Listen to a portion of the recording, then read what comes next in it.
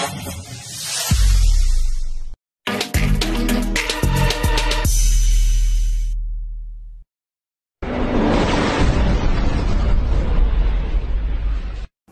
students, welcome to Amudhan's classroom தமிழில் தவறில்லாமல் எழுதுவது எப்படி? என்று ஏற்கனவே நாம் இரண்டு வீடியோக்களை பார்த்து விட்டோம் இப்போது இந்த வீடியோவில் அடுத்த மூன்று ஜோடி எழுத்துக்கள். அவை மிக முக்கியமானவை என்று நான் ஏற்கனவே சொன்னேன். அந்த மூன்று ஜோடி எழுத்துக்கள் எதெல்லாம்? டானா தானா ராணா. டானா தானா ராணா. இந்த மூணு ஜோடி எழுத்துக்களையும் நம்ம சரியாக படிக்கிறதன் மூலமாக ஒரு விஷயத்தை நம்ம புரிஞ்சிக்க முடியும். நம்ம ரொம்ப நாளாக குழம்பி போய் கிடக்கிற விஷயந்தான் அது. என்ன விஷயம்? மூணு சுவினா நா ரெண்டு சுவினா. இதெல்லாம் எந்த இடத்துல எல்லாம் வருங்கிறதுக்கான ஒரு சில ஐடியா நமக்கு கிடைக்கும். சரியா? இப்போ முதல்ல டானா ராணா. இது ரெண்டு முதல்ல இந்த ரெண்டு ஜோடிகளை முதல்ல நம்ம பார்ப்போம். முதல்ல நம்ம பார்க்க போகிற ஜோடி டானா. இந்த டானாங்கிற ஜோடி மூலமாக எந்த மாதிரி வார்த்தைகள் உருவாகும்? டாதா கணவன் நாதா மனைவி.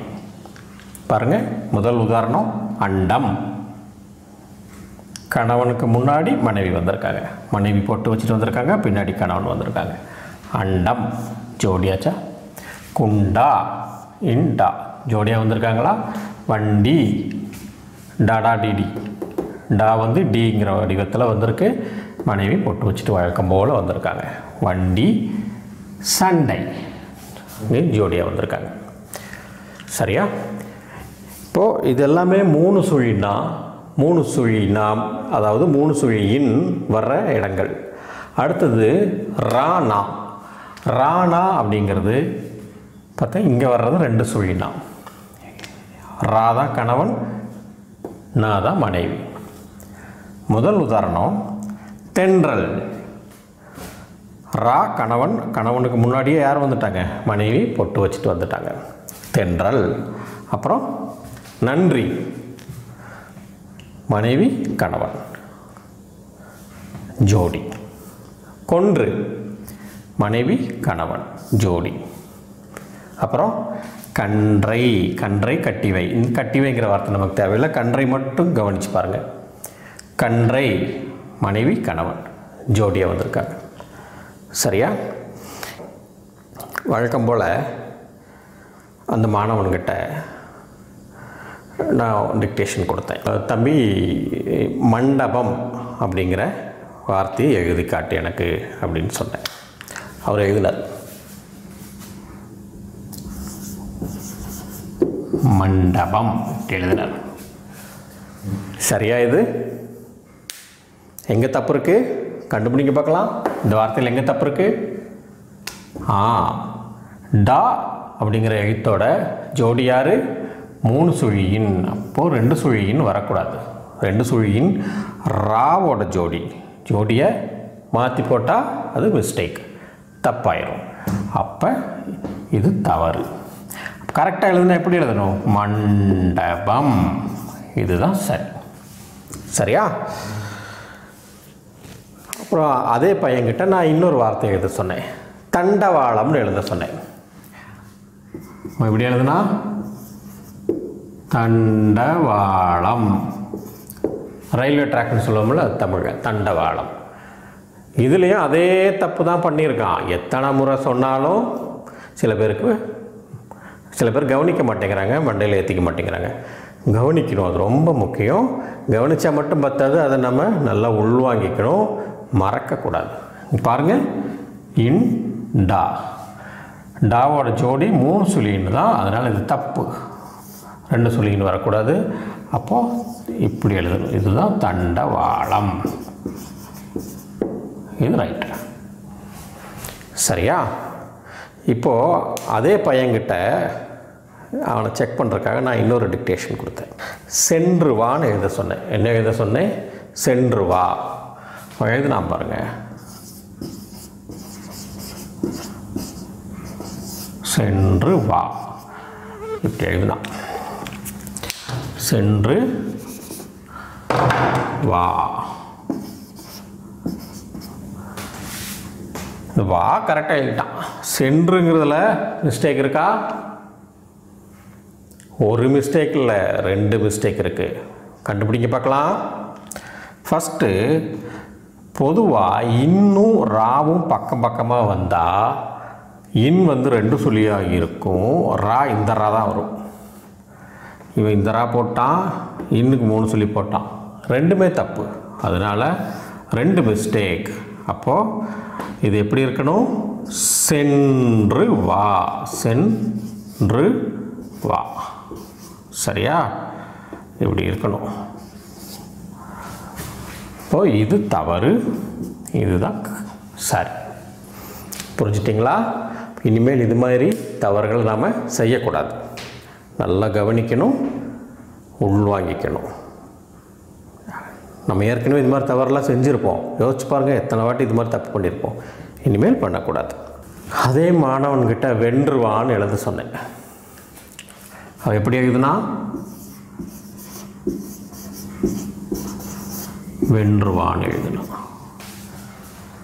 இதில் என்ன தவறு? நல்லா பார்த்து சொல்லுங்கள் வென்றுவா. இதில் ஏதாவது தப்பு இருக்கா? இல்லை. அவன் கரெக்டாக எழுதிட்டான். நான் சொன்னதை புரிஞ்சுட்டு கரெக்டாக எழுதிட்டான். குட் பாய் இப்போது ராவோட ஜோடி இன்னு சரியா இருக்கா? இப்போ இது நீங்கள் கற்றுக்கிட்டீங்களா இனிமேல் மூணு சுழி இன்னுக்கு வந்தால் அதுக்கப்புறமா மூணு சுழி இன்னு எங்கே வரும்? டா டா டிடிங்கிற எழுத்துக்களுக்கு முன்னாடி மூணு சுழி இன்னு தான் வரும். ராரா ரீரிங்கிற எழுத்துக்களுக்கு முன்னாடி இன் வந்தால் அது ரெண்டு சுழி தான் மூணு சுழி போடக்கூடாது. அதே மாதிரி சென்று வென்று நன்று அந்த மாதிரி எழுத்துக்கள்லாம் ரெண்டு சுழி இன்னும் ரூ. இந்த ரூவும் தான் வரும் இந்த ரூ வராது. இந்த ராதா வரும் சாதாரா வராது. அகித்தி சொல்கிற ராதா தான் வரும். சரியா? இப்போ பாருங்கள் இந்த ரா தான் வரும். தென்றல்.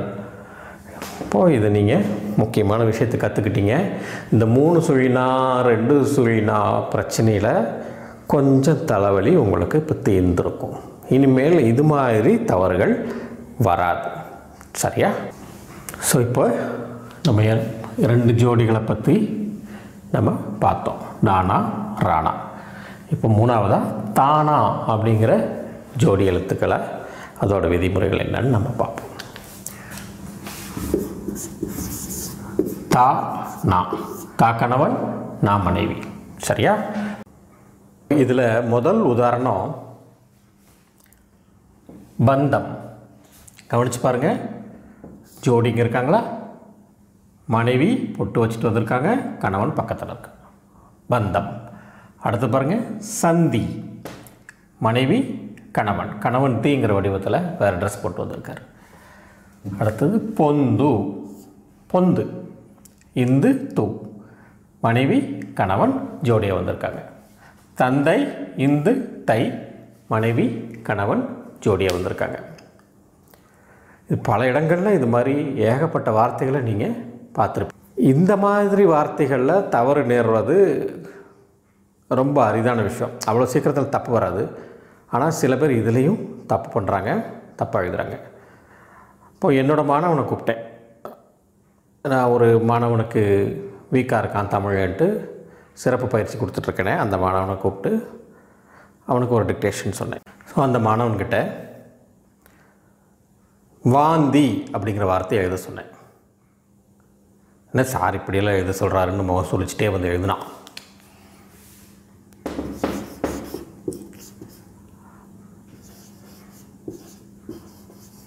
வாந்தி.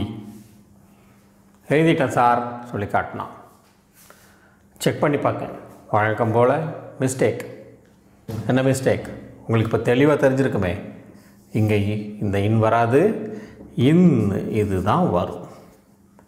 அப்போது எப்படி எழுதணும்? வாந்தி. இப்படி எழுதுனாதான் சரி. இது தவறு. சரியா?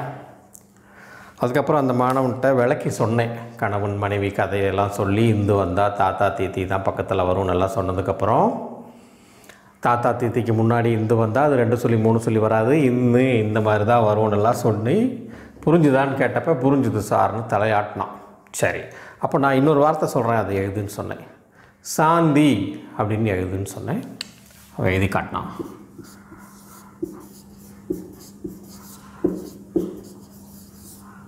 சாந்தி. சார் எழுதிட்ட சார். வாங்கி பார்த்தேன். சாந்தி. என்னடா தப்பாக எழுதியிருக்கே அப்படின்னு கேட்டேன். இல்லை சார் நீங்கள் சொன்ன மாதிரி தான் எழுதியிருக்கேன் அப்படின்னா. ஏதாவது தவறு இருக்கா? கண்டுபிடிங்க. நோ மிஸ்டேக் கரெக்டாக எழுதியிருக்கான். இப்போ அந்த பையன் புரிஞ்சிட்டான். அப்போது தாக்கு முன்னாடி புள்ளி வச்சு எழுத்து இன்னும் இன்னும் ரெண்டு சுழி இன்னும் மூணு சுழி இன்னும் வராது. இந்த இன்னு தான் வரும். இனிமேல் இதில் இந்த மாதிரி தவறுகள் செய்யவே கூடாது. செஞ்சுருப்பீங்க ஏற்கனவே. ஞாபகப்படுத்தி பாருங்கள் இனிமேல் இந்த மாதிரி தவறுகள் வரக்கூடாது. மாணவர்களே இந்த மூணு சுழினா ரெண்டு சுழினா நான் சுய இல்லாத நான் இதையெல்லாம் எப்படி ஹேண்டில் பண்ணுறதுன்னு இவ்வளோ நேரம் கொஞ்சம் பார்த்தோம். பொறுமையாக கேட்டீங்க. இந்த ஜோடி அப்படிங்கிற ஒரு விஷயத்தை வச்சு நான் உங்களுக்கு நிறைய உதாரணங்கள் சொல்லி வளர்க்கினேன் இந்த தவறுகளை தவிர்க்கிறதுக்கு இது கொஞ்சம் உதவும். ஆனால் இன்னும் சில விதிமுறைகளை நம்ம கற்றுக்கிட்டால் தான் தவறுகளை இன்னும் குறைக்க முடியும். அது ரொம்ப முக்கியமான விஷயம். இந்த மூணு நாவையும் எப்படி உச்சரிக்கிறதுங்கிறதையும் கற்றுக்கணும் அப்போ தான் தவறுகளை கரெக்டாக உச்சரித்து படித்தா தான் எழுதும்போது கரெக்டாக நம்ம எழுத முடியும். அப்போது இது மாதிரி விஷயங்கள்லாம் இன்னும் நம்ம கற்றுக்க வேண்டியிருக்கு. வேறு சில விதிமுறைகள் உச்சரிப்பு பயிற்சி இதெல்லாம். இதையெல்லாம் நான் அடுத்த வீடியோவில் நான் வெளியிட போகிறேன் அடுத்த வீடியோ இந்த வீடியோ எவ்வளோ முக்கியமோ அதே அளவுக்கு அடுத்த வீடியோ முக்கியம் அதை விடவும் முக்கியம்னு சொல்லலாம். ஆகவே மறக்காமல் அடுத்த வீடியோவை பாருங்கள் இந்த வீடியோ உங்களுக்கு பிடிச்சிருந்தா லைக் பண்ணுங்கள் கமெண்ட் பண்ணுங்கள் ஷேர் பண்ணுங்கள் அமுதன்ஸ் கிளாஸ் ரூமுக்கு சப்ஸ்கிரைப் பண்ணுங்கள் அப்படியே பக்கத்தில் இருக்கிற பெல் ஐக்கானை கிளிக் பண்ணுங்கள் நன்றி.